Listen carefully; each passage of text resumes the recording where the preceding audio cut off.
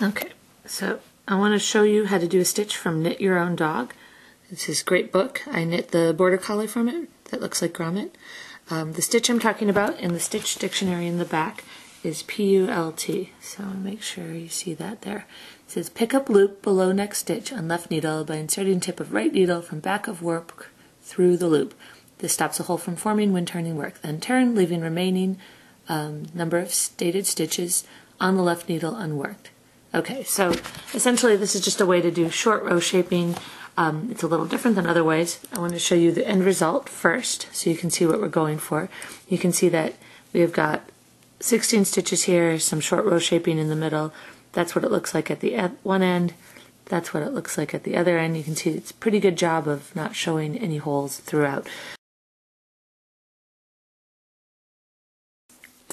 Okay, so you can see here I have a swatch with 16 stitches, 15 that I've already knit, and one left over here. So this is that first row where we're doing a P-U-L-T. So I'm going to pick up the loop below that stitch with my right needle, leave it on the right needle while I turn the work.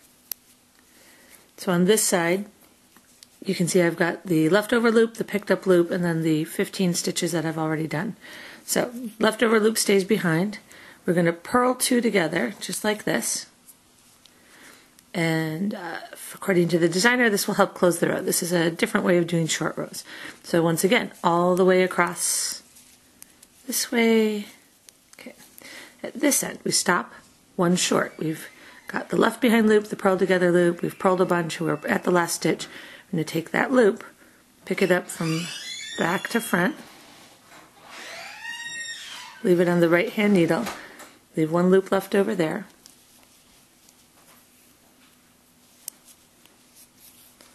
Okay, leftover loop, picked up loop. We're going to knit that together with the first stitch.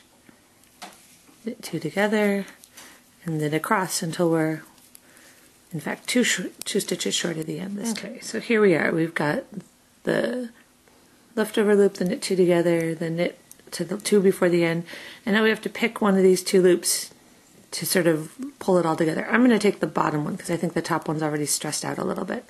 So pick up that loop, turn everything around.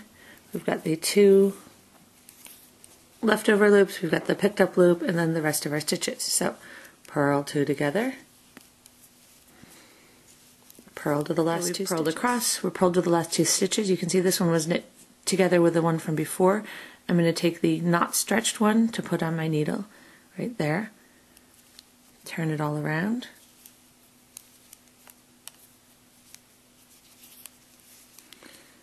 So we've got two leftover stitches, the extra loop that we knit two together with the first stitch, and then knit across. Okay, now you can see we've knit across to the last three stitches. So we have the first leftover one, the second leftover one that's wrapped, the third one that we're going to leave behind and wrapped. We just need to pick up that stitch right there, the one that hasn't been stretched already, turn it around,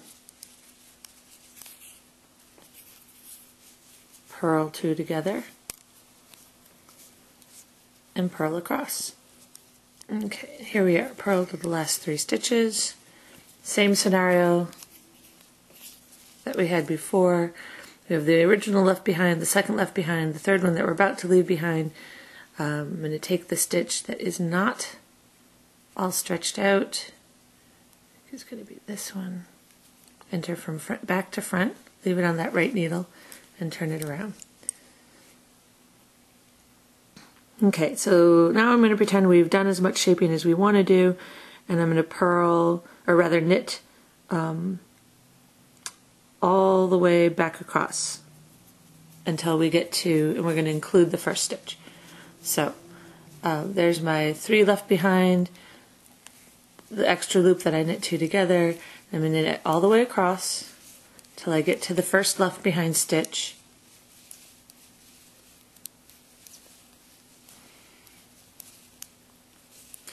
So you can see I have first left behind, second left behind, third left behind. This is the first wrapped stitch. I'm going to knit that. And then we're going to have to wrap again, right? So that we close the hole again. So again, this one, I'm going to take that one right there, turn it, purl two together. Okay. So I'm at the first wrapped stitch right there. You can see that it's wrapped. I'm going to purl it, and then I'm going to do the turn with this one. So once again, from back to front, turn it around, and go across. So knit two together, purl to the first wrapped stitch that I come to. So there should be, when I get to that point, there should be three stitches left on the needle. There you go. So three stitches left, I knit one of them, pick up that wrap, turn, and work back again. Purl two together, purl to the last three, and then two at the end. So I'm going to purl that one. This is the one I'm going to pick up and wrap. Turn it around. This time we're purling to the last one. We're going to knit that one. And then pick up that daughter stitch again from back to front. Getting ready to purl it together on our last pass.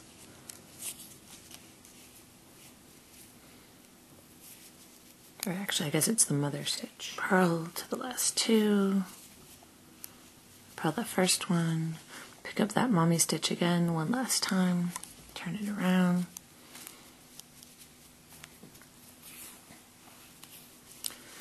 One leftover stitch. Knit two together. This time we're going to knit all the way to the end. And then we'll come back and purl all the way to the end. Purling all the way to the end. One, two, and finally we purl that stitch that's been left behind this whole time. Turn it around, or rather knitting all the way to the end. Now we're going to come back, purl all the way back, just to show you what it looks like. Here we go, purling all the way back. So last row, you can see that stitch that we left behind so many rows ago. We're going to purl it finally, and then we have the completed piece. So what's interesting about this is how you can see it's really caught the holes on both sides. Now it's not perfect by any stretch of the imagination. I'd be curious to try, you know, other short row shaping, but as written, that's what the PULT is for on the Knit Your Own Dogs.